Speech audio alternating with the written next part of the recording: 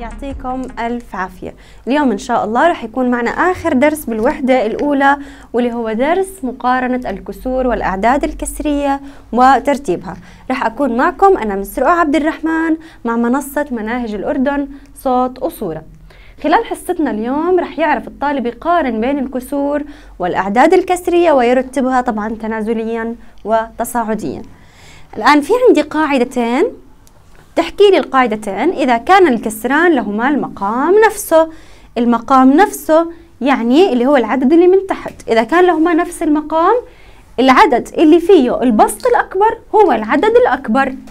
بينما إذا كان العددين لهم نفس البسط اللي هو العدد اللي من الأعلى نفس الشيء العدد اللي مقامه أصغر هو العدد الأكبر. خلينا نشوف كيف يعني. في عندي مثال بحكي لي قارن بين خمسة على اثنى عشر وسبعة على اثنى عشر. الآن أنا هاي نفس المقام إذا إحنا على القاعدة الأولى. إذا كان لهم نفس المقام العدد اللي بسطه أكبر هو العدد الأكبر. أو خليني أحكي لكم شوي طريقة ثانية. يعني لو أنا معي خمس دنانير بدي أعطيهم ل 12 شخص. ومعاي كمان سبع دنانير بدي أعطيهم ل 12 شخص.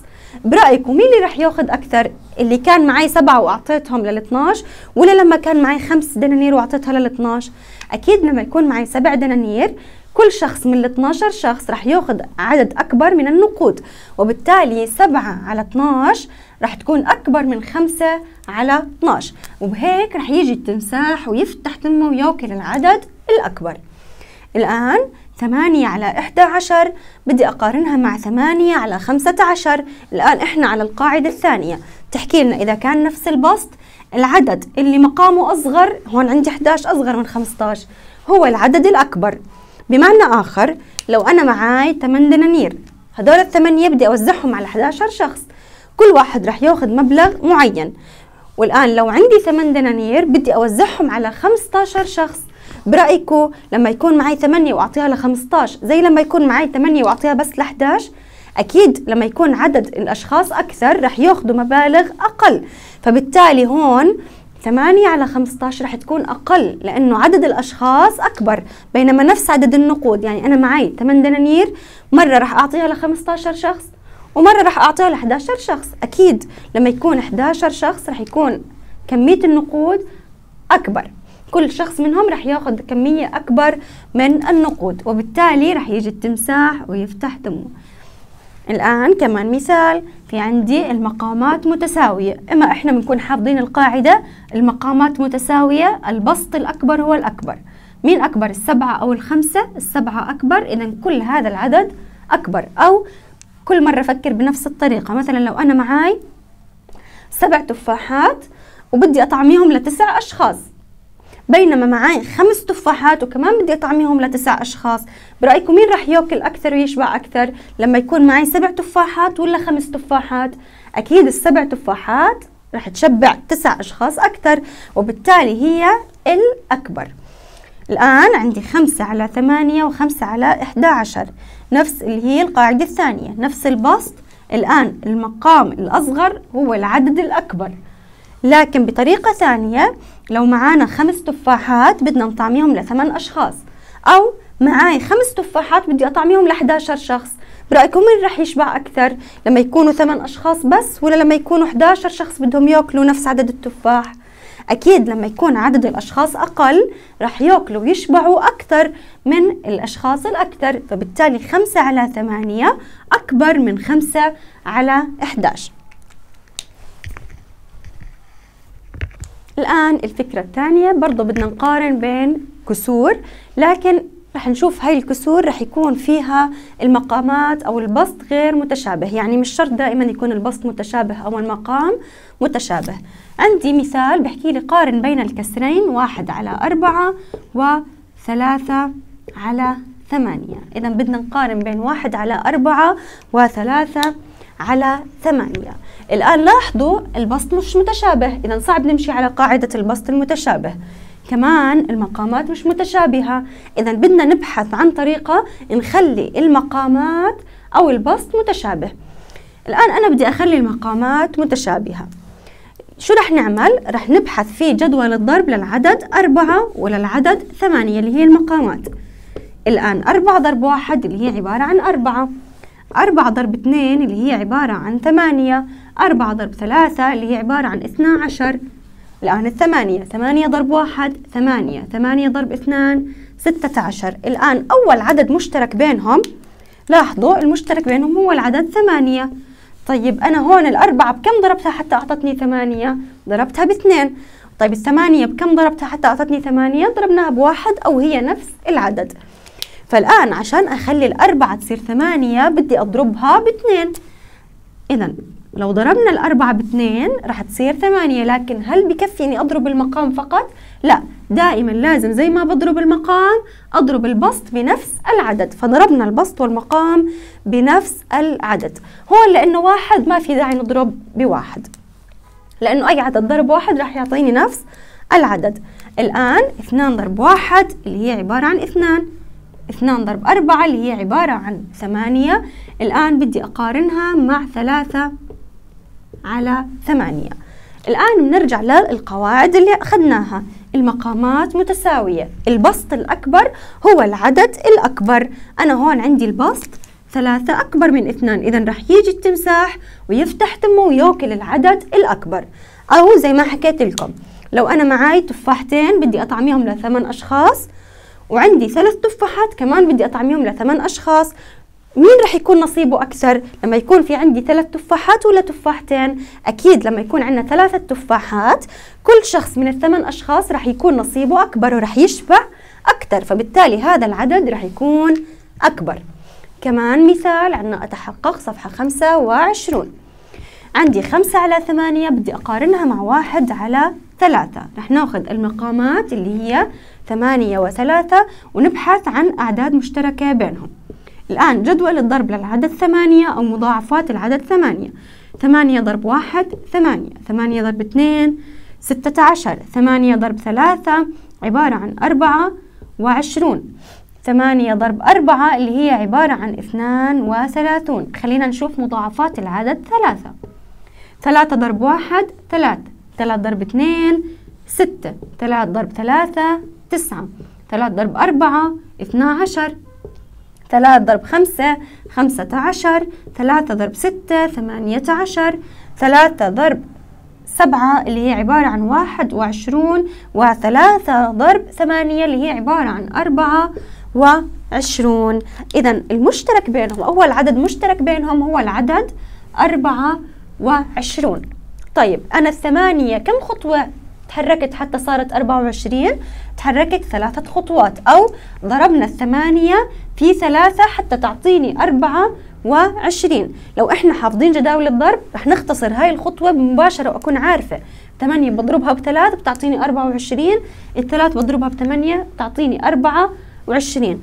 أو لو إحنا مثلا ما بدنا نحفظ جداول الضرب وبدي أوحد المقامات ممكن نضرب بالعكس. يعني أنا هون عندي المقام ثمانية وهون المقام ثلاثة بضرب هذا المقام بالمقام الثاني اللي هو ثلاثة وبضرب الثلاثة بالمقام الأول اللي هو ثمانية. يعني حتى هون ممكن أضرب الأربعة بثمانية والثمانية أضربها بأربعة بيعطيني بالنهاية نفس النتيجة. رح أورجيكم أرجع للمثال السابق.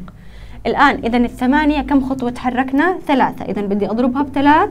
نفس الشيء لازم أضرب البسط في ثلاث. الآن العدد الثاني. المقام ثلاثة. كم بدي حتى يصير 24 بكم بدي أضربه؟ رح أضربه في ثمانية. ونفس الشيء البسط بدنا نضربه بثمانية. صار عندي أنا ثلاثة ضرب خمسة. خمسة عشر على أربعة وعشرون. بدي أقارنها مع ثمانية على أربعة وعشرون. الآن نفس المقام البسط الأكبر هو العدد الأكبر. بيجي التمساح وبفتح تمه وباكله الآن هون حكيت لكم في طريقة ثانية خلينا نكتبها هون. لو أنا بدي أقارن مثلا واحد على أربعة مع ثلاثة على ثمانية بس ما بدي أشوف المضاعفات ومش حافظة جداول الضرب. شو ممكن نعمل؟ ممكن نضرب بالعكس. أنا هون عندي العدد أربعة وهون عندي المقام ثمانية. رح أضرب المقام الأول اللي هو أربعة في المقام الثاني. وزي ما ضربنا المقام رح نضرب البسط. ورح نضرب المقام الثاني بالمقام الأول اللي هو العدد أربعة يعني بنضرب بالعكس. بسط مقام رح نضرب بأربعة. وثلاثين وهون آه ثمانية ضرب أربعة كمان اثنان وثلاثين. الآن هون رح نقارن بما أنه المقامات متساوية العدد الأكبر هو في البسط هو رح يكون الكسر الأكبر. أنا عندي 12 أكبر من 8 إذا هذا الكسر كله أكبر من الكسر الثاني. لاحظوا إذا الثلاثة على ثمانية يكافئها 12 على 32 والكسرين أكبر من الكسر الأصلي. الآن كيف بدنا نقارن بين الأعداد الكسرية؟ خلينا نشوف مثال التالي. في عندي اثنان وثلاثة على أربعة وعندنا اثنان واثنان على ثلاثة. أول شيء ببلش أقارن فيه هو الأعداد الصحيحة. هون أنا عندي اثنين وعندي اثنين. بما أنهم متساويين الآن رح ننتقل إلى الكسور. في عندي الكسر ثلاثة على أربعة والكسر اثنان على ثلاثة. كيف بدي أقارن بينهم؟ الآن إذا بدي أقارن بين الثلاثة على أربعة مع الاثنان على ثلاثة. زي ما علمتكم ممكن نستعمل طريقة اللي هي الضرب العكسي أو التبادلي. هاي أربعة راح أضربها بالمقام الثاني اللي هو ثلاثة في البسط والمقام وهاي الثلاثة راح أضربها في الأربعة اللي هو المقام الثاني. إذا هون ضرب أربعة في البسط والمقام.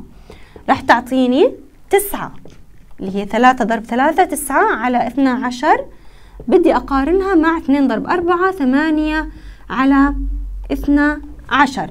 الآن بدنا نقارن البسط الأكبر بيكون العدد كله أكبر لأنه نفس المقامات. إذا 9 على 12 أكبر من 8 على 12 يعني الثلاثة على أربعة لأنها هي مكافئة للتسعة على 12 أكبر من الاثنين على ثلاثة. وبالتالي الكسر اثنان وثلاثة على أربعة أكبر من الكسر اثنان واثنان على ثلاثة. كل هاي كسور مكافئة. طبعا إحنا تجاوزنا العدد الصحيح مباشرة لأنه متساوي. خلينا نشوف العدد المثال الثاني. في عندي واحد وخمسة على ستة بدي أقارنها مع اثنان واثنان على ثلاثة.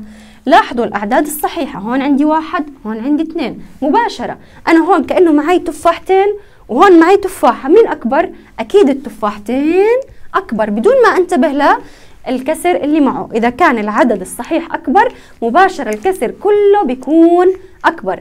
أما إذا كان الأعداد الصحيحة أو الكلية متساوية الآن بدي أقارن بين الكسور. في عندي أتدرب بحكي لي رتب الأعداد الكسرية تنازليا. عشان أذكركم التنازليا يعني من الأكبر للأصغر زي ما حكيت لكم في حصص سابقة كأنه بننزل عن الدرج. بدي أكبر شيء لأصغر شيء. طيب وين تتوقع يكون أكبر عدد؟ خلينا نشوف الأعداد الصحيحة. هون عندي تسعة ثمانية ثمانية. مين أكبر إشي فيهم؟ أكيد لما يكون معي العدد تسعة يعني تسع تفاحات أكثر من ثمانية. إذا هاي أول عدد أنا عندي.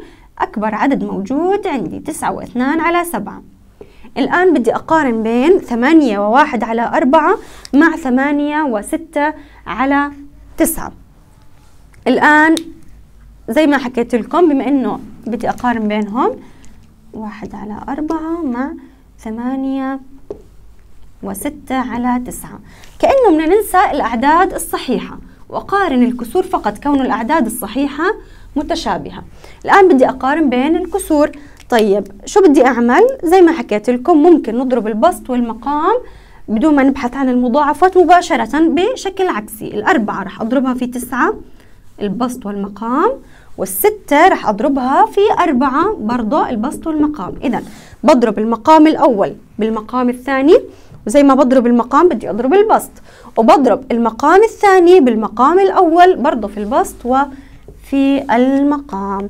الآن صار عندي تسعة ضرب واحد اللي هي عبارة عن تسعة على ستة وثلاثين. بدي أقارنها مع أربعة ضرب ستة أربعة وعشرون على أربعة ضرب تسعة ستة وثلاثون. برأيكم من أكبر لما يكون معاي 24 دينار أو 24 تفاحة بده يأكلها 36 شخص ولا معي تسع تفاحات بدي أطعميهم ل 36 شخص؟